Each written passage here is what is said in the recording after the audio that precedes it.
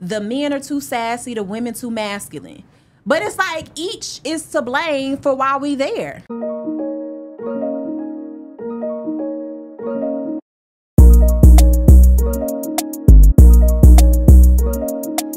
Shout out to B High ATL, man.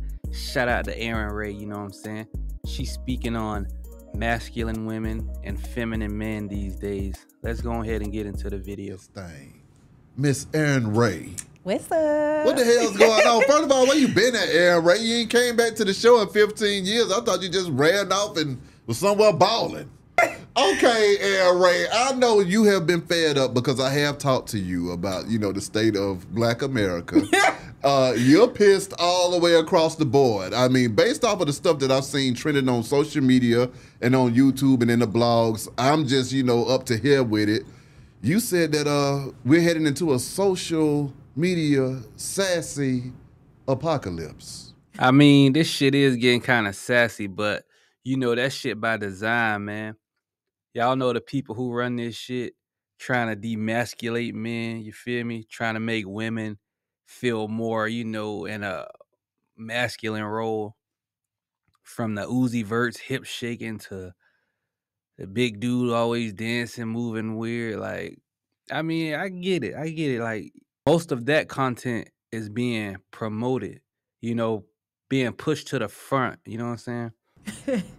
we are. And we're not heading into it. We're actually already there. Like we're there. Because first off, I hate it for my community, first off, because I'm all about black love. Mm-hmm. I believe in it. I want everybody to just first off, I want you to have love, whether Mm-hmm. wherever it comes from. But I do want it to be, you know, black Yeah. on black love. Yeah. But we are in a time where it's just black woman against black men. We just in a whole little war, and I hate it. The men are too sassy, the women too masculine. But it's like each is to blame for why we there. Answer me this though. What is it that makes a man sassy? You know what I think today? Now, some of the things that I see about men being sassy are not being sassy. It's just that finally some men are able to express themselves emotionally, which is great. It's Yeah. great. I mean, everybody different, you feel me? I don't think that's great. She probably don't even think that's great. She probably just saying that, you feel me? Like, you could be passionate, you feel me? You could be passionate about things, but showing that emotion like that, as far as like crying and shit on camera and all that shit on the internet, like, bro, that's feminine. I'm sorry. That's feminine. Don't do it on the internet if you're gonna do it do that shit in the confines of your home or at a funeral or some shit, but keep that shit off the net. Right. But I think become coming from the times that we're used to, where like men was men. Mm-hmm. You know what I'm saying? Like you could feel protected with your man. Okay. Now your nigga like we both gotta run. I can't do nothing for you, sis. Like there, like it's just it's crazy because I seen the comparison. This is what blew me. This is where it comes to like sassy points. Yeah. It was a guy. This was his point. He said, if I wake you up at two o'clock in the morning and say, go fix me a sandwich, Mm. you're gonna be like, I ain't going to fix you no sandwich. Like, why would I do that? Mm. But if you wake me up at two o'clock in the morning because it's an intruder downstairs, you expect me to go do something. How does that even compare, Mm. No, you sir? can't compare the How two. does that compare? Yeah. But those are the comparisons that trying to make. That's like that's real sassy because, Yeah. sir, if somebody trying to kill us, yes, nigga, I want you to go try to help. Like I'm gonna try to help you too, but you the man. Like, come on. Yeah. Two o'clock in the morning, waking me up to fix you a meal is crazy. Like Yeah, that ain't even no comparison. So that's where the sassy shit is to me. I- Yeah, she right about that. Now you can't compare those two. But I tell you something though. If I wake up at 2 a.m. and ask my lady, she gonna do it with no problem. You feel me? That type of shit gotta be in a woman. You feel me? It can't be on a woman. You feel me? I I wake up. I won't even have to ask her. She'll she'll probably ask me. You feel me? Like, you hungry? You want me to make you something to eat? Do it with no problem. Ask, bruh. No problem at all, bruh.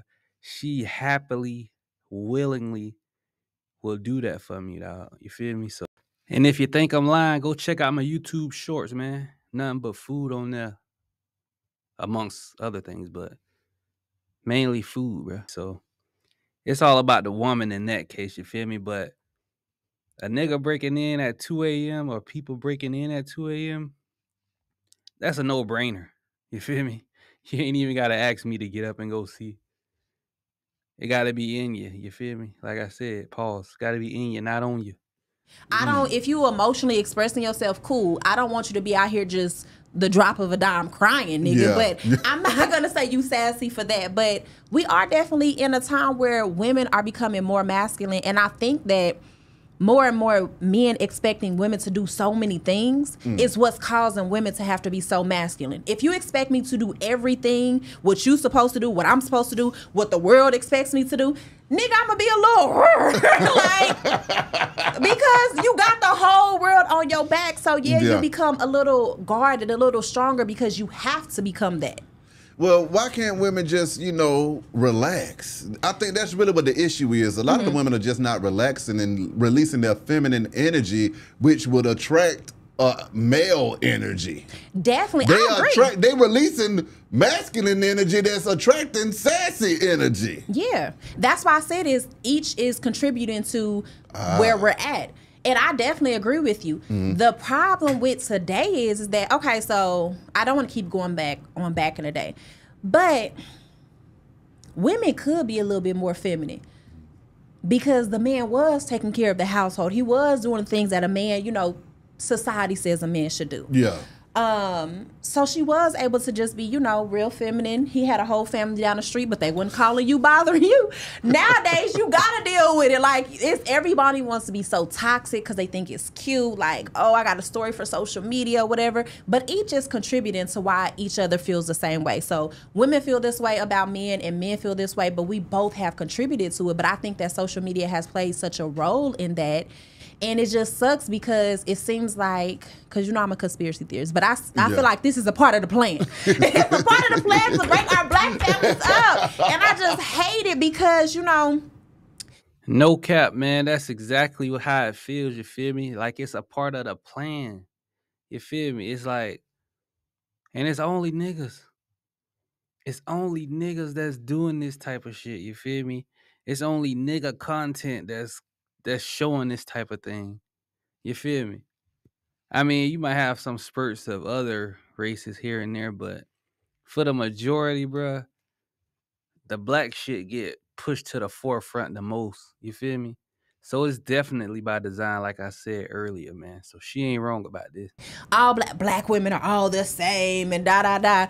What gets me about that is because it's okay for it to be multiple black men, right? Mm. All black men are the same. I take care of my kids just because that man didn't don't mean I ain't. Mm. Yes, but it's cool for y'all to have multiple black men. But as a black woman, I can only be like Sexyy Red just because I have an opinion. Oh yeah, here you go, another modern day black woman. What? Answer me this. This is a question that I have. Um, I think reality versus social media is a big issue that we have as well.